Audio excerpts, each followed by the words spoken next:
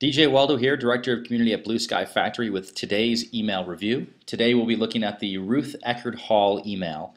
And for those that are unfamiliar with uh, Ruth Eckerd Hall, let me go to their About page quickly so you can see what they're all about. Uh, says here they're, they're a not-for-profit organization committed to presenting the finest in performing arts and also providing performing arts education to all segments of our community. And they are based in Clearwater, Florida. So this is the email that I'd like to review for them from them. Uh, this email was was sent to me as the web version, so I don't have the you know be able to view this with images off or anything. But I was told that the from name on here was Ruth Eckerd Hall, which is, as I mentioned often, I think is is critical to have your from name be who you are, who your company is, who your brand is, so it's very recognizable. Because remember, that's the first thing that people see when they get an email, either the subject line or the from name, and decide whether or not it's worthy of being open. So when I look at this email, there's um, this area up here is known as the pre-header, and what they have is the standard view this email in your web browser, which I think is important to have up there. Um, it's interesting too, I haven't seen this done a lot, but they have their social sharing, I'm sorry, uh, social icons so people can uh, friend them on Facebook, subscribe to their YouTube channel. This looks like Foursquare and then Twitter. But as I say often, it's one thing to put those icons up there. It's another thing to tell me what they are and to tell me what I'm supposed to do and tell me what's in it for me. So I see this missed very often, just throwing up those icons. And you have to be very, very clear with people and tell them explicitly what they're supposed to do and what is in it for them. My assumption is when I click on this, I'm going to then go to their Twitter page or their Facebook page. And um, But that's great, but why should I do that? So as I look at this email, looks like this was one that was sent out last week, and I'm told they send out a, a Wednesday uh, email.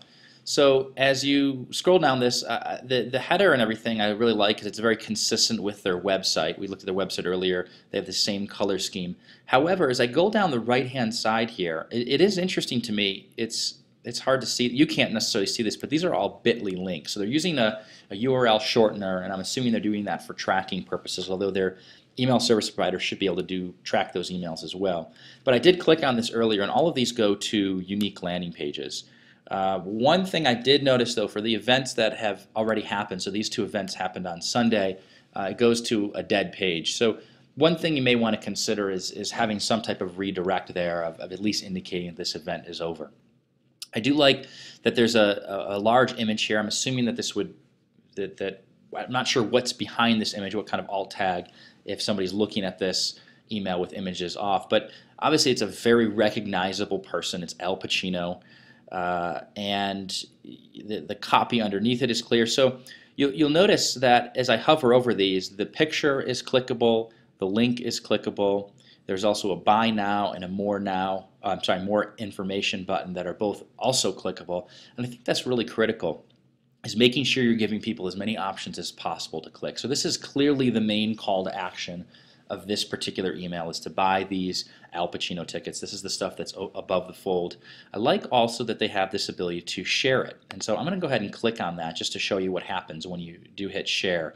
And the screen software I'm using, you can't see this all the way, but there's the ability for me to write something and then it's going to post this entire uh, article. And so it's good, and it's good. It allows you to socially share this. But as I mentioned before, what I'd like to see down here is uh, some type of incentive or some type of reason to share. Why should I share? Uh, also, if you're going to have the Facebook sharing option, I'd also have the ability to tweet out a link to that too. Um, remember, the Twitter and Facebook audiences tend to be, there's definitely some crossover, they tend to be different, so uh, give both of those options. And as far as the rest of the email goes, I, also like that they've got some other announcements down here. It's just very clean looking. Everything has this share ability.